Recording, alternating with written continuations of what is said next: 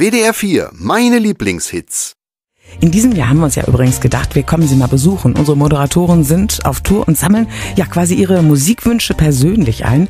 Und äh, Ute Schneider ist heute mal auf der Spur der verlorenen Diamanten. Oder richtiger, sie ist zu Besuch bei der Band Donny and the Diamonds. Ist eine Kultband, nicht nur in Soest. Und Ute, du, ich habe da so ein Bild im Kopf. Du umgeben von lauter Edelsteinen. Ja, das ist ein Dienstagmorgen nach meinem Geschmack, ehrlich gesagt. Ähm, Diamanten am Dienstag, da habe ich mich natürlich sehr gefreut. Und jetzt sitzen sie hier. Vier Diamanten. Den einen wollten wir eigentlich aus Südfrankreich zuschalten, aber das hat leider nicht geklappt. Deshalb vier Diamanten sitzen hier und machen gleich auch tatsächlich mit mir Musik. Also es läuft. Äh, Donny and the Diamonds, die Band gibt es gefühlt schon immer, oder? Hier ist der Klaus Fischer, der hat mir aber gesagt, es gibt keinen Fallrückzieher. Morgen. Nein, Fallrückzieher nicht, aber das werde ich jedes Mal gefragt. Die Band gibt es gefühlt wirklich schon von immer, aber gegründet wurden wir tatsächlich 1999. Und das war so ein bisschen ja eigentlich wie eine Boyband. Das heißt, sie wurden zusammengemixt. Ja, das ist richtig. Unser früherer Schlagzeuger, der hatte die Idee, in Soest ein Musikfestival mit Oldies aufzuziehen. Ist ja mit zu unserer Tageszeitung zum Soest Anzeiger gegangen und hat dort offene Türen eingerannt. Und äh, dann wurde gesagt, ja, wir nehmen also irgendwie eine bekannte Oldtimer-Band und dazu müssen wir eine lokale Band haben. Gab's aber nicht äh, passend dazu. Und dann wurde gesagt, ja okay, dann suchen wir Leute zusammen, die also schon seit ewig Musik machen und äh, gründen extra dafür eine neue Band. Und äh, so sind wir dann 1999 äh, geboren worden. Und das hat so gut gepasst, dass sie immer noch zusammen sind. Aber es wurde zwischendurch ein bisschen verjüngt. Aber man muss sagen, einer der Jungen hatte Rücken. Und zwar der Meinholf. Aber äh, ist wieder fit heute Morgen. Bestens. Wie ein Jungbrunnen. Er ist die Treppe hier zum Keller runtergehüpft, würde ich fast sagen. Ähm, es gibt über 100 Songs, die ihr drauf habt, habe ich gehört. Ralf, 100 Songs. Äh, hat man die einfach so drauf oder muss man da immer mal wieder doch gucken? Ja, es gibt viele Stücke, die kann man aus dem FF, die hat man tausendmal gemacht, aber einige, da hat man sich dann doch ein paar Notizen gemacht, dass man dann auch mal eben gucken kann beim Spielen, was kommt jetzt, was kommt gleich, das ist dann doch ein bisschen sicherer. Also wir spinksen jetzt hier und dann gibt es gleich Live-Musik aus dem Keller von Sust. Da hast du uns jetzt schön neugierig gemacht. Ute Schneider, unsere Reporterin bei WDR 4 zu Besuch bei der Band Donny and the Diamonds, meldet sich später gegen 10 vor 1 nochmal. WDR 4. Die Top 444. Unsere Reporter sind äh, im Lieblingsland unterwegs und auf Stimmenfang in diesen Tagen. Ute Schneider ist heute zum Beispiel in Soest und hat sich mit der Coverband Donny and the Diamonds verabredet. Und äh, gemeinsam geht's jetzt mit denen abwärts. Ja, nur in Keller.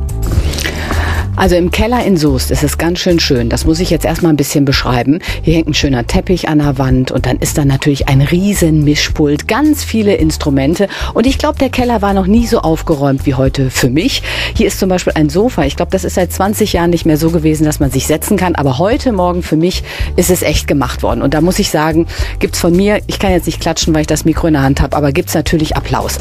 Der älteste in der Runde ist der Donny. Der ist 78, das ist der Sänger. Der hat uns gerade hier schon ganz tolle Fotos gezeigt. Da waren Sie früher ja wirklich schwer im Einsatz. Wie sehr geht das noch mit dem Hüftschwung auf der Bühne, wenn Sie unterwegs sind? Ja, ist nix so wie vorher, aber es geht noch.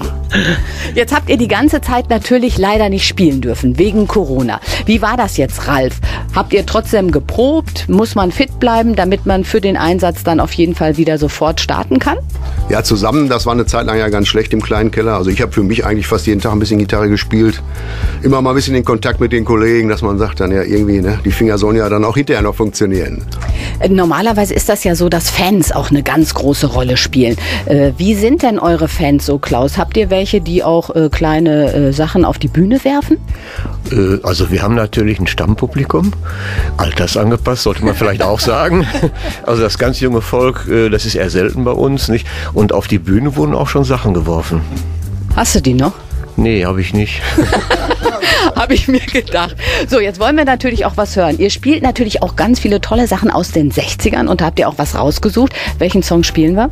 Wir spielen jetzt California Sun, ein Surf-Rock-Stück von den Rivieras aus dem Jahr 1963. Vier Diamanten und ich. Und ich komme endlich groß raus. Das habe ich mir immer gewünscht und ihr werdet gleich hören. Mein Einsatz ist am Schellenring. Jungs, wir legen los.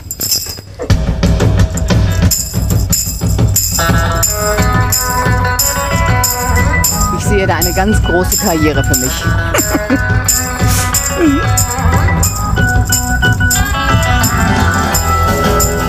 ja, das fetzt.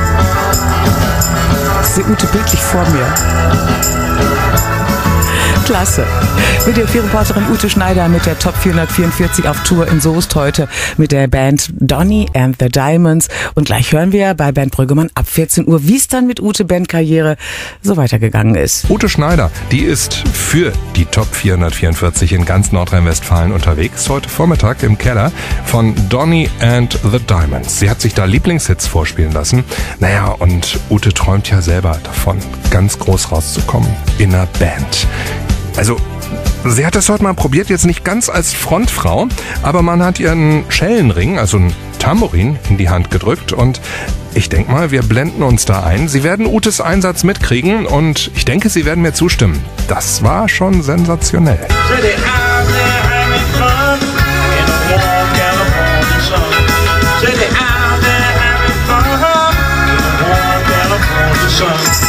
Also ich glaube, so ganz überzeugt sind die Jungs noch nicht, ob ich wirklich das nächste Bandmitglied werde. Aber ich arbeite daran, muss ich halt sagen. Und ihr arbeitet ja am nächsten Auftritt. Klaus, ich habe gehört, da könnte demnächst was gehen.